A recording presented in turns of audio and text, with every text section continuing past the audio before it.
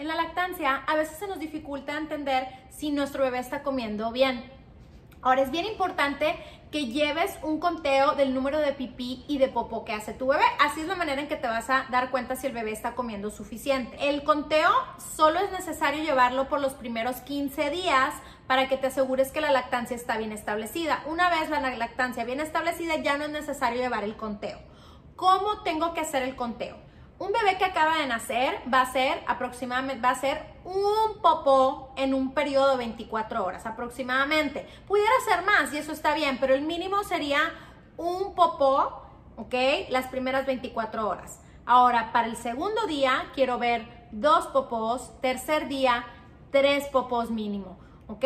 Cuarto día por lo menos cuatro popós, ¿ok? Y de ahí en adelante quisiera ver de cuatro a seis pañales sucios, o sea, de popó, al día.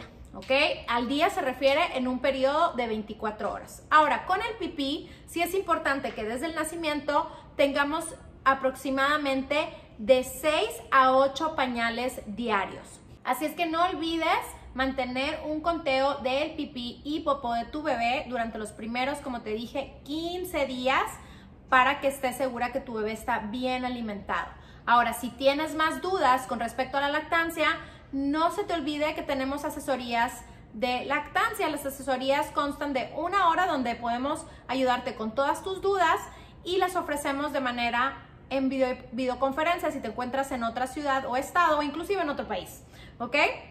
Este, no olvides suscribirte a nuestro canal, seguirnos en redes sociales y darle like a este video. Nos vemos. Besitos.